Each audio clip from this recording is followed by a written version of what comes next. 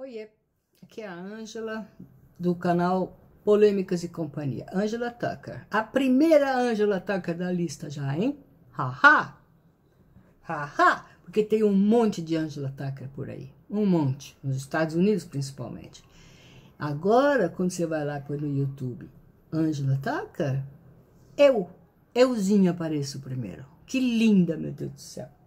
Eu não preciso falar para dar like, para subscrever, essas coisas todas, porque se você está me vendo é porque você já fez isso. Muito obrigada pela sua audiência.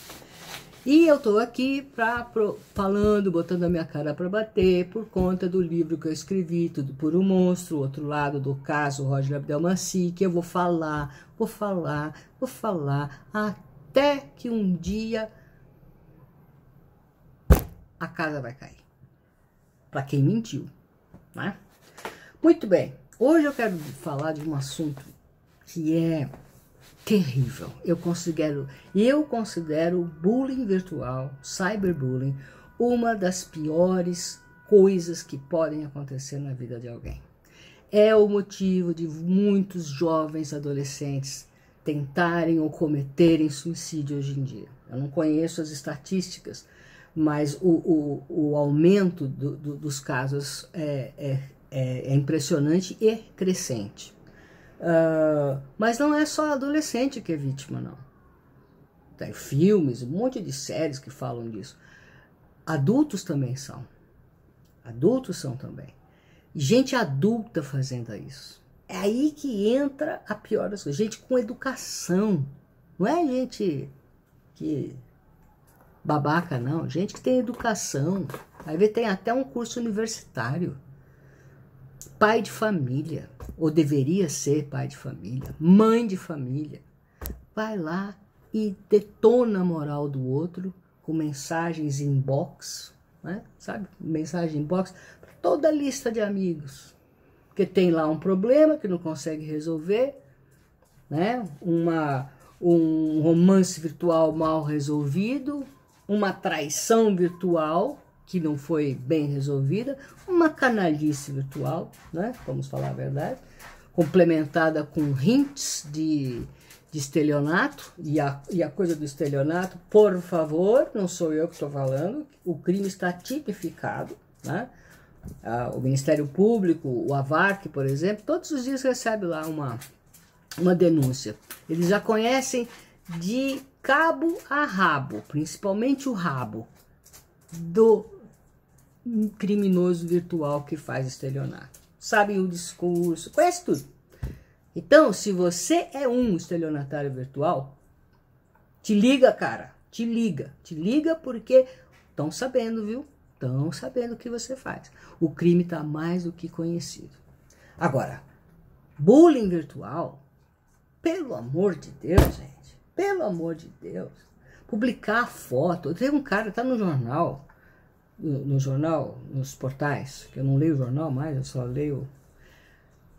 Uh, um sujeito que publicou foto, endereço, uh, fotos íntimas da ex-mulher, da ex qualquer coisa, num site de prostituição. Hã? Bom, isso é o, o drama de quem sofre bullying virtual é, é enorme e diversificado. Né? Quem faz e quem é, a criatividade do buller virtual também é enorme e diversificada. A gente não sabe aonde vai. Agora, a covardia, a covardia é imensurável.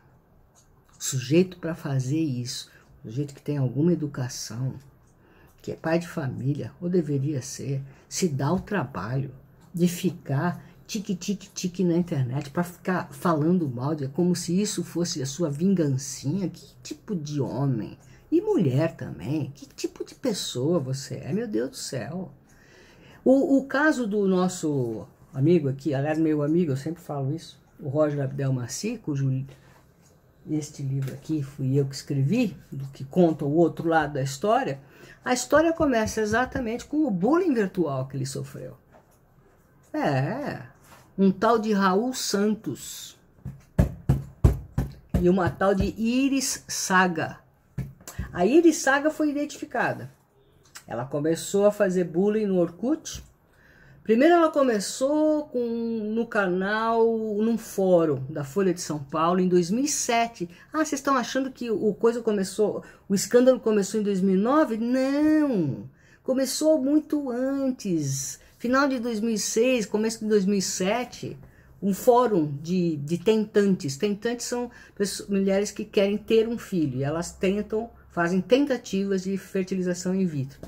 Começou lá. O livro explica direitinho. E a jornalista sabia. Inclusive, é a jornalista, que é a Cláudia Colucci, da Folha de São Paulo, ela, ela chegou a falar. Eu lembro que eu li. Ela chegou a falar: ó, vocês não podem fazer esse tipo de coisa, isso é calúnia. Porque estavam falando que ele beijava, que ele agarrava. E, por, e até 2009, os únicos crimes eram de safado, tentou me agarrar, safado, quis me beijar, safado, me paquerou. Esses eram os crimes do Roger Abdelmaci. A partir de 2009, a criatividade funcionou e aí apareceu o estupro, apareceu o estupro anal e vaginal, apareceu uma, um monte de coisa, né? Que não vem ao caso hoje, porque eu estou falando de bullying virtual, hein, Angela? Paulo? Uh, mas aconteceu, aconteceu com ele. Iris Saga, em dois, novembro de 2007, o primeiro, 3 de novembro de 2007, eu lembro porque eu fui uma das que recebeu o, um repique do e-mail que o tal do Raul Santos mandou para o Roger e companhia, para um monte de gente, falando horrores. Um dia desses até posso ler algumas partes, porque tem baixo calão. É, mas falando horrores e dizendo que ia se vingar, dizendo que eu sou tão poderoso quanto você, e eu vou e eu vou a minha vingança será maligna e eu vou fazer isso, isso, isso e isso. A gente vê que a cabeça do sujeito pensava como um marqueteiro. Pensou, planejou e executou. O plano dele foi perfeito. Ele falou: "Eu vou começar com um anti-marketing nas redes sociais, o que hoje chamamos de marketing de conteúdo, ele fez um anti-marketing, porque não foi para promover a pessoa, né? Foi para não promover a pessoa, ou para detratar, ou, ou para criar o um monstro, né? Ali começa o tudo por um monstro. Eu vou à imprensa. Em 2008, em junho de 2008, a Globo já sabia de tudo. Já tinha depoimentos lá esse Raul Santos com a mulherzinha dele, que provavelmente é a Iris Saga, e se for o casal, eu já sei, eu, eu pelo menos, e algumas outras pessoas, já sabemos quem é Raul Santos, que pode ser processado, se o crime não foi prescrito, evidentemente, por uh, calúnia e difamação digital, e com isso pegar um, um tempo bem ruim. Mas só a divulgação do nome dele, só de saber quem ele é, já vai fazer uma vergonha, porque foi tão covarde, né? Ficou acobertado até hoje. Até hoje. Não, hoje também vai ficar acobertado. Hum, mas não perca por esperar, meu senhor. Não perca por esperar. Viu? Deve estar tá me vendo e não vai gostar do que eu estou falando. Então, gente, ó, sofreu uma ação de bullying virtual, seja lá o que for, tem delegacia de crimes virtuais no Brasil. Nós já temos um, um, advogados especialistas nisso. Vai lá, registra sua queixa, pega tudo, copia, faz um, um apanhado de provas, denuncia, brigue. Não fique a mercê do, do sujeito, não. Você, se for uma, se um adolescente estivesse me ouvindo, é claro, Fala, tem que reagir. Porque antes de mais nada, a pessoa que faz isso é um covarde. E covarde é fácil. Covarde que pode até se arvorar de machão, de machona, para ir para.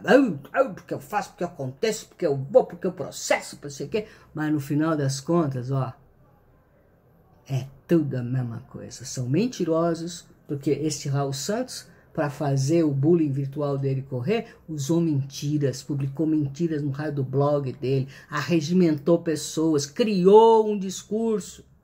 E aí o resultado, em 2009, foi explodido na Folha de São Paulo. que é a história. Aí começa a história que todos conhecem. Ninguém sabia que dois anos antes a coisa já estava se fermentando. É quase mais, um pouco mais de dois anos. Né? Bullying virtual. Destruiu a vida de uma pessoa. De um sujeito que, não estou dizendo que ele é inocente. Paquerador. Fez sim, fez lá um monte de besteira, um monte de merda. Agora tá pagando pelo que não fez. E a história é longa. Vocês não fazem ideia o que está nessas 488 páginas. E eu vou ficar por aqui porque já deu 10 minutos e eu prometi que eu não ia passar disso. Então, ó, recado para quem sofre bullying virtual. Vai lá e vai no Avarc. Avarc, eu já falei que, que é o Avarc.